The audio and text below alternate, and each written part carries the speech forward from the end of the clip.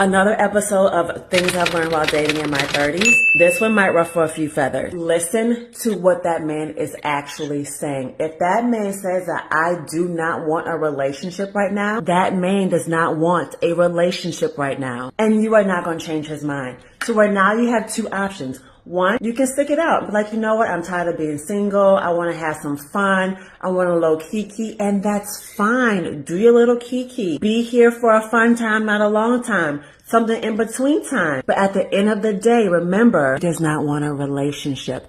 You're gonna have to remember that because there are gonna be moments where you're gonna feel special. You're gonna be like, oh my gosh, this feels like this is a girlfriend kind of action. He gave me a little rose and everything. Honey, that rose started out as a bouquet. At the end of the day, he does not want a relationship. Remember that. Your second option is that you can just leave him alone from the beginning. May God bless you and keep you away from me because you are special, but you are not that special. You might think that you are a dope ass chick, but you are not going to change that man's mind. That man has been in the streets, has now become for the streets, and he's having fun in the streets. And you are not going to be that one special girl out of hundreds and thousands of girls that's going to change his mind. So let him go. Listen to when they say, I don't want a relationship right now.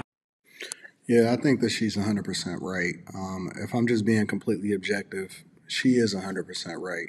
I think that women hear what they want to hear because they want what they want.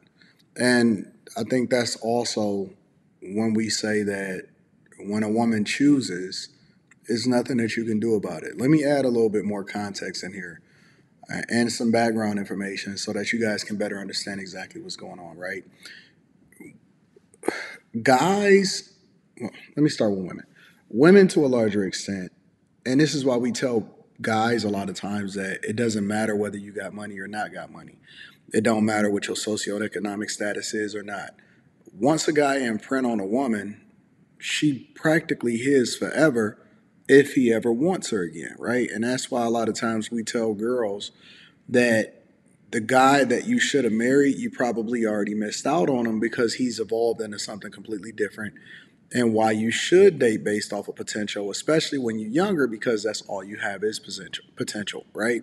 And so once a guy starts really, really becoming self-aware and his greatness becomes uh, more evident to him, you have less of a chance for him to pick you out of all of the women that he then has the option to pick because the the older he gets and the greater he becomes, especially for the guys that become high value. Now, of course, this doesn't apply to every single guy, but the older that he gets and more self aware he becomes, the more he realizes that he has to vet based off of where he's going and not where he's at, right? So when you think about a lot of women and then they try to change a man, right?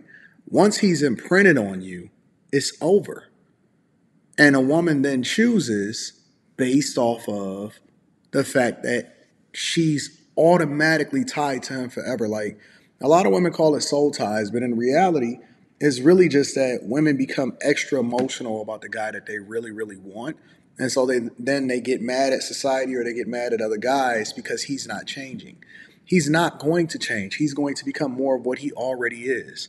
And so if he did not already choose you or select you then chances is he will not settle for you. And that's when guys, again, I'm going back to the original conversations of guys becoming more aware. When they become self aware, they don't settle anymore, right? The only time that you really see guys start to make some modifications or some decisions when they start to become self aware and they become greater. And usually this becomes guys that's maybe in their late 30s because you just really start to figure out who you are in your 30s or when you start to become or get close to 30 in your late 30s, early 40s. Um, and then you don't even get to your top of your, your earning potential and your greatness until you're in your late 50s, early 60s. The thing about it, the only time that I've ever seen guys start to settle down or to even be able to, um, you know, make some modifications as to what they're going to do as far as a lifestyle is in two situations. The first one is if he decides that he wants kids. Some guys will you know, just be with you for a long time and not even marry you. But then at the same time, if he decides that he wants kids, it's a stronger possibility that he's gonna rock with somebody that he's been rocking with for a long time, even if he just been dealing with her and he hasn't necessarily married her, but he's been kind of in and out of her life and playing girlfriend or whatever, and they just have this great relationship, regardless of how many other people he's talked to, right? That's the first situation. The second situation is if um, you know, he just meets somebody that he's just organically in a situation with, or he just organically rock with, and he chooses her but he's never going to, as he ages and as he gets older, he's never going to settle for you. That is a game for younger men. Younger men tend to settle, which is why a lot of women from other cultures then get with black men, and they always say, "Well, why, you know, white girls get with a black guy or whatever." Um, they don't know who they are yet. They don't realize what they are yet, and so even a conversation that she's having, she's having conversations, and again, she prefaces by saying that as a woman that is dating in her 30s, she is having this conversation from the perspective of a person that maybe is dating or has dated guys that are starting to become self-aware and they realizing how great they are or how much greater they're going to become based off of who it is that they're dealing with, right? And so those type of guys, they not going to change for you. They're going to change for themselves. Let me say it one more time. They're not going to change for a woman the guys that I see that change for a woman at that age, they change for a woman, meaning that they're not evolving into becoming a greater version of themselves. That means that they're settling for whatever it is that's in front of them based off of the requirements of a woman, they crash out. A hundred times out of a hundred, they crash out. Right? They may be influenced as people around them or whatever, but those type of guys crash out. Let me get back to the core of what she's saying. Women don't listen. They don't. They hear what they want to hear based off of what they want. And so then that's when you start to see women become bitter because then they act like it's the man's fault when a man, more times than not, more often than not, have already communicated to you who he is and what he's going to do. Guys, contrary to popular belief, because the, the society will sell you on the fact that, well, you know, she didn't know when she got finesse. Listen, I'm not going for it with all of these women that's coming to you and saying, oh, I had a child out of wedlock or he changed up on me. Listen, that is 100% bullshit. He did not change. Whoever it is that you got pregnant by, whoever it is that you spent a whole lot of time in a relationship with, you were hoping. But he told you, he showed you, and he communicated to you exactly who he is and what he's been doing. And so I don't believe that all of these women are disillusioned. I don't think that these guys is just tricking these chicks out of their draws in long term relationships or having children with them. Most of the time, these guys already have children or they've already been living a lifestyle that you're hoping that they're change. I'll give you an example, a public one, right? We all know, and I'm gonna just use this one because just for the sake of conversation, but I ain't even coming at it right now. We all know who Future was. But every single woman, including all of the Ciaras and the Joie Chavis and all of these stuff, they all go and get pregnant by him. We know who they are. Every single one, every person in the world know who Future is. This is no secret. But yet, women still choose to go and get with him, and then they sit there and have a conversation with other women, acting like guys ain't nothing. No, it's a small minority guys that's populating the majority of women, and most men, regardless of have, whether they have children or not, they are the same person. They are no different whatsoever. And so when we hear this narrative or we see women continue to complain about the state of men or relationships or whatever, they taking their frustrations out on all of us. But the reality is that it's a small minority of men, or those men that she were dealing with already had communicated with in one way or another because you can see it in a lifestyle and communication is also what you do 90% body language.